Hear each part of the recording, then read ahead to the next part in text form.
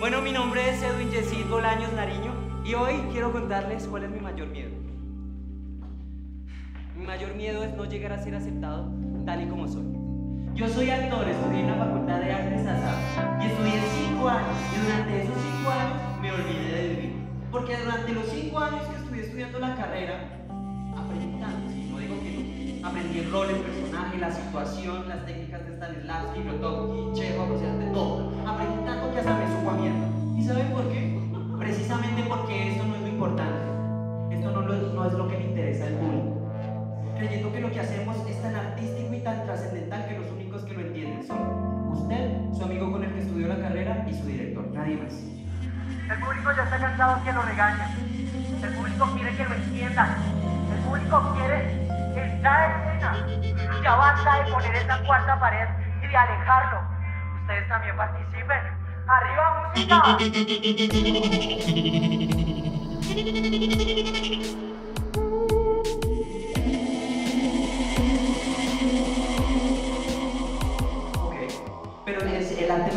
Político también. ¿Cuál es la incidencia social real, real, que ejercemos con nuestra profesión? ¿Por qué el, el arte es tan importante? ¿Por qué no se puede vivir de arte? ¿Ah?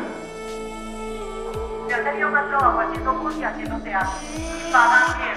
25, 35 la hora. Falta ya de creer que nosotros somos mejores humanos por hacer arte.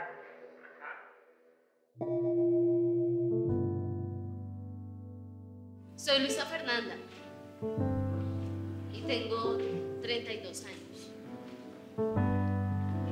Y he sentido un miedo inmenso, grande, de relacionarme con los hombres. Pero tenía 15 años que en embarazo y decidí practicarme un aborto. ¿Qué iba a hacer yo a los 15 años con una niña o un niño?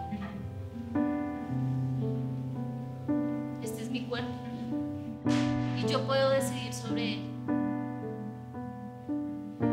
Y ya cuando me gradué, conocí un chico. Y como todos los hombres al principio, o bueno, los que yo he conocido, muy amable, muy querido. Y a los dos meses de estar de novios, quedé en embarazo otra vez. Dos meses. Volver a repetir esa otra situación que había vivido cuando tenía 15 años. Sí, porque fue en un lugar clandestino. Esos lugares donde tú vas porque alguien te dice, no porque encuentres la información necesaria, no porque encuentres la información que necesitas. Y ese hombre amable y querido, y al principio me dijo, sí, vamos a seguir adelante, tengamos ese bebé. Con el tiempo se fue transformando. No le gustaba lo que hacía. Duele, me duele. No te creo. Eres actriz. ¿Cómo te voy a creer si eres actriz? Y así empezaron las violencias. ¿Pero por qué haces esto? ¿Pero por qué contestas el celular? Un día, mi hija estaba en su cuna. Y mientras que él tiraba todas las cosas,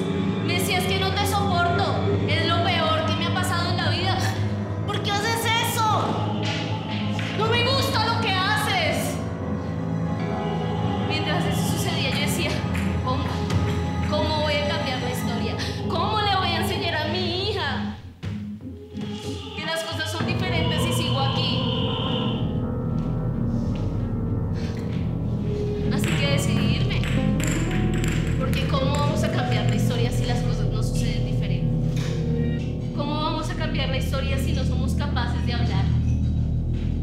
Es el silencio mío durante mucho tiempo. Es el silencio de mis abuelas. Es el silencio de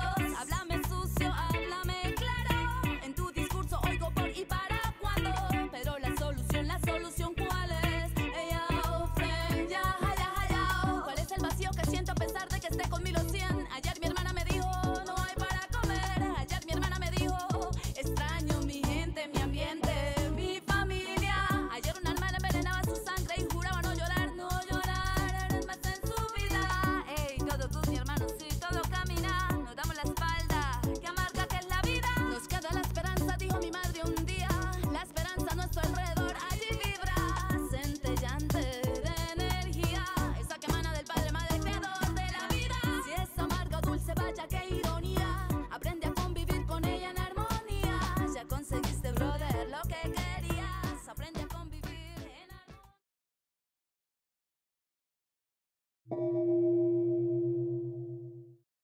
personalmente que la verdad se ha venido como tergiversando con el tiempo y nunca he encontrado que es verdad, porque al final de cuentas todo es una mentira. Cierra la jeta. Shut the fuck up. ¿Cuánta gente llegó aquí sin decir lo que quiso? Sin ponerse lo que tenía. Sin regresar a algún lugar o sin pedir perdón. Los amigos que dejaron de hablarse por un malentendido. Eso a mí me pasó. La familia que jamás volvió a reunirse porque no encontraban un día. ¿Quiénes son mis papás? ¿Quiénes son mis amigos? ¿Realmente mis amigos son mis amigos o están fingiendo ser mis amigos? La gente que dice cómo quiero estar contigo, ¿realmente quiere estar conmigo o no? Quedamos inertes ante la vida por esperar a mañana. Solo nos queda hoy. ¿Sí? Por eso el modo de la pila. Shut the fuck up. Igual esas son preguntas buenas, ¿no? La manipulación y la perversión en nuestra sociedad son la base de la economía, de lo social y de lo político. Y si no es así, que alguien venga y se me pare y diga que no es así. Yo a veces creo cosas que no son. O que uno cree que no son. O ya no sé. Pero el hecho es que cuando se pierde la luz es muy difícil saber qué es y qué no es. Soy Laura Urrego, tengo 23 años y hoy estoy jodida porque no tengo esperanza. ¿Y por qué? Porque ayer yo fui a marchar y yo vi como nadie estaba haciendo nada. Ninguno de nosotros, los que somos carne de cañón siempre, ninguno estuvo haciendo nada.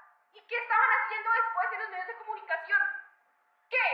Estaban diciendo que somos unos vándalos, que nos metimos al banco caja social a dañar y a destruir cuando no fue así. Y en esos momentos ahí yo de verdad me siento frágil, solo, como desconectado. Ese miedo a estar vivo. Hoy no tengo esperanza. Así que si alguien tiene algo que decirme, por favor, yo les sigo el consejo. Porque así como no sé quién soy yo, no sé en qué mundo estoy. con los pelos de punta y mi piel erizada. Todo se detenía en mi tiempo. Todo. Observo a mi padre golpeando a mi madre y yo detenida. Pero lo que más recuerdo eran las plegarias de mamita. Ella siempre andaba con el creo en la boca y el Dios te salve en sus labios. Ay, papacito. Llenaste nuestras vidas de vértigo y la verdad es que no más. No más. Siempre andaba al filo de la muerte por defensa de la vida. Que la vida fluye y debe continuar su propio cauce, como el río llega a los mares, como el árbol en la tierra echa sus raíces en sus profundos suelos. La tierra no pelea con él, la tierra se lo permite, el árbol crece, le da sombra y la tierra lo sostiene. Derribado, frustrado, tú descargas tus choques eléctricos sobre tu mujer, tus hijos, era mayor el esfuerzo. Para mí ya era suficiente con que me diste la vida, ma. Ya con eso era suficiente, no debías someterte a tanto, no debías soportar tanto. Yo quería verte feliz. Y yo no siempre lo odiaba, ¿no? Era mi padre, o sea, amo a mi padre, men. Como cuando una niña chiquita se enamora de su papá, Superman. Pero qué si mi mamá sueña con un final feliz, feliz junto a su esposo, felices por siempre hasta la muerte. Esa es la que casi te lleva. Esa es la que pensé tantas veces, ti se desconfiguraba. Se desarticulaba. La palabra amor perdía su valor. Dime, ¿es que no sientes dolor? ¿Es que acaso no te duele la pielecita? Pues claro que le duele, y le duele en lo profundo de su alma cuando mi padre arremete contra ella, y le duele cuando arremete contra sus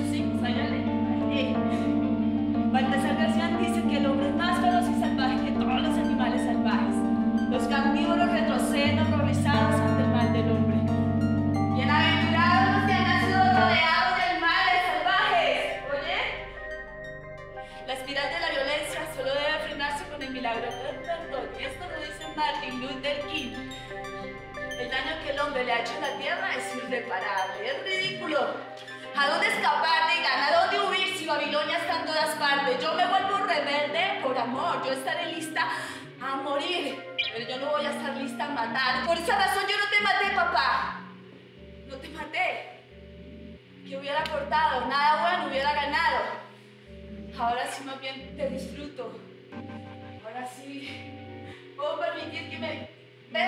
Me hablas del amor al prójimo, del perdón, del cielo, las estrellas, sus luceros, aquellas que no la nocturna y a solas contemplo su belleza.